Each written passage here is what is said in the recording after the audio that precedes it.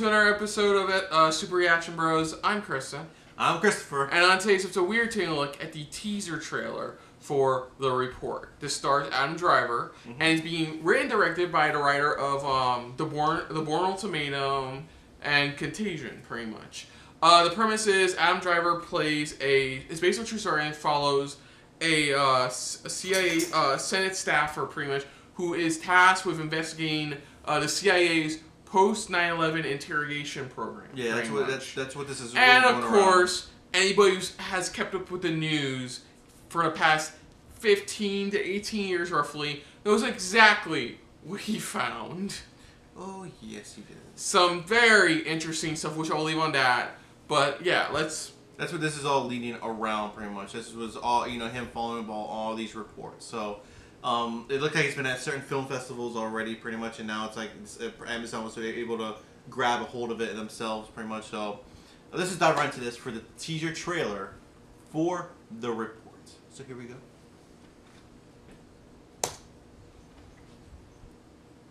After 9-11, everyone was scared. Scared it might happen again. Hey, man, John, man. It was my second day of grad school. Next day, I changed all my classes Morning, Dan. Morning, Senator. Have you seen the story today in the New York Times? Evidently, the CIA destroyed tapes of interrogations of Al Qaeda detainees. I want to find out what was on the tapes, why they were destroyed. No paper. Paper isn't what getting people in trouble at our place. At our place, paper's how we keep track of laws. Oh! Last night I found this. He's detainee number 24. Did you guys use this same 183 times. Everything they got from him was either a lie or something they already had. If it works, why do you need to do it 183 times? Maybe when the report comes out, people will finally see that. I vehemently disagree with the narrative here. The United States does not torture. Dan, you need to be careful here. They can't destroy the documents. They can go after the next best thing. You. They claim they saved lives, but what they really did was make it impossible to prosecute a mass murderer because if what we did to him ever came out in the court of law, the case is over. The guy planned 9-11. We will not allow I like that, I like to cover that. The intent is to gain intel. I always forget Annette Bening's name. Written by the victors. We need to change our How approach. that even happen? Nothing could be further from the. Democracy is messy. If the Times had your report, we would print it tomorrow. No. If it's gonna come out, it's gonna come out the right way. It's gonna Yeah. come out the way I want it. I like that the torture report, not just the report. Jeez.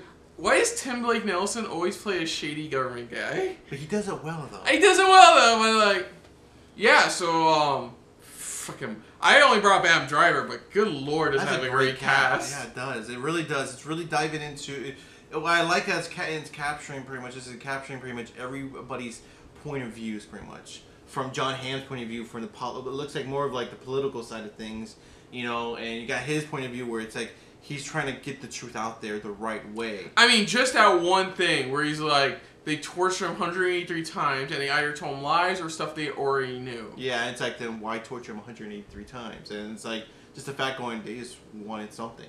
They just wanted to do something. Yeah. So, like I said, if anybody's ever kept up with the news in the last decade and a half, or is into these type of films where it's like they really dive into the politics that went behind. you know, you All already this. you already know this story. This hell, there's other movies that did that kind of t- you know kind of touch upon this. Zero Dark Thirty did that. Yeah. As well as I can't, there are a couple other political films have touched on these subjects. This is I think generally like the first film that really just focuses on that aspect, the only that Yeah. aspect. Pretty the one much. person that was like trying to do his best to you know bring Yeah, he was hired by you know Annette Bane's character to go and see what was you know Yeah. why would they burn all these tapes and stuff and like now knowing the whole story he's like no we're not There's doing a we're it. not doing a book this is going through the right channels we're doing like, this right We're doing this right. We're doing this the right way. You know, and that's why he got even he was upset going. It's just like this sucks when pretty much it's like even if we find the people pretty much, but if we find out oh we tortured them, then it's like what the hell? You know, we there's no way we can actually, you know, put them through justice, pretty much. We can't put them to the right, put it through the right system to bring them down, instead of just saying, "Oh, we can't arrest him because we tortured him and it's all on tapes." Yeah. You know, so we can't do anything like that, and that's what it's like. That's what's really what it's trying to show here. It's just like we want to do this the right way. You got to do it the right way. I mean, there's there's different people's opinions on this overall, and I'm hoping this pretty much it's like from what I'm seeing here, they're showing every single side of it. It's not just taking one. It doesn't feel like it's taking one side. It's looking at pretty much everything that went down from every point of view, pretty much how it happened. Oh yeah, that's where you have Tim Blake's argu- Tim Blake Nelson's argument about it as yeah. well. It is the argument with it, Jon Hamm's argument, and even his argument, pretty much the one who's actually investigating. Yeah, this definitely does look like a good film. You definitely can tell it's from somebody who's done these type of films before, and of course, it's produced by Steven Soderbergh, who who's does who's he who's does done movies like this before. He does make these movies very well done. He gets the right So, information put so together. being his name attached to it definitely puts some more credibility on it Yeah, overall. exactly. And it does look like a good film. I think Adam Driver is a great actor. He's, you know, nowadays, yeah, best known more for like either um, Kylo Ren or like being more of a com- like a like a low low tone neutral comedic actor. Which yeah, exactly. You don't get a lot of his more dramatic roles, so uh, not counting over dramatic roles in, in Star Wars, but like exactly. Yeah. so like I, I I wish the best for him. I believe it's coming out in fall, so it's already yeah, it's coming out in November pretty much. So it's already it's another one of those Oscar season films. So like we're gonna be getting Watch more of now. these. If anybody's been keeping up this week, you already knows how top heavy a lot the first half of this week has been with um trailers pretty much. Like you got big name stars all over the place trying to make their names and make it to the Academy Awards next year. So yeah. whoo boy, it's gonna be alright. So, other than that, if you're new to the channel, you can hit the like button. If you want to talk to us more about stuff like this, comment down below. If you want to share us around, share it around. And if you like us just a little bit more than anybody else when it comes to talking about stuff like this, hit the subscribe button down below and hit that bell icon as well. Let us know what you guys thought of this trailer overall. Even if you do know like the you know everything that went down, or uh, you don't you know you heard about this, but you didn't know the deep, full details of how it all went down. You know with within the government itself.